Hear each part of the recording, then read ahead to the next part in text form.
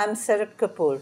I'm a chef, culinary consultant, and an author. Today I'm going to be making a Kashmiri dish called Rogan Josh. So let's get started. So I'm going to be using mustard oil. So I'm going to give the black and green cardamoms a little bit of a pound. Bay leaves, cinnamon, cloves. As these spices release their flavor, I'm going to add more or less mutton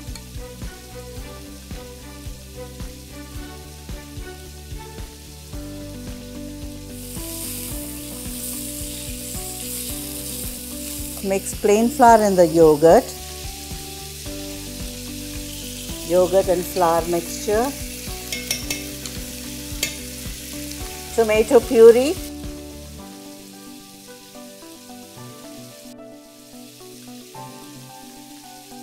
Some chili powder. A little bit of asafoetida, hing, fennel powder, coriander powder, ginger powder, salt. Some saffron which I have soaked here, a little bit of water to cook.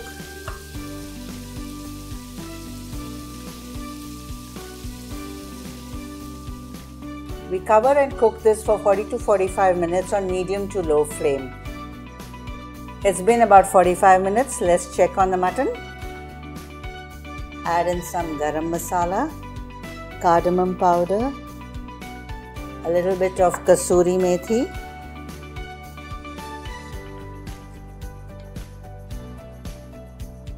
A mutton rogan josh Kashmiri style is ready.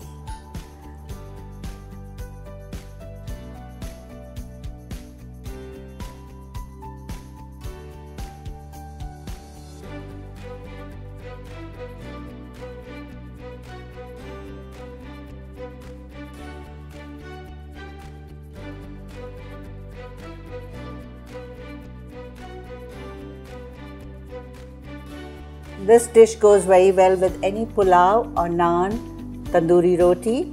So do try this recipe. Isn't it simple and easy? It looks complicated, but it's very simple.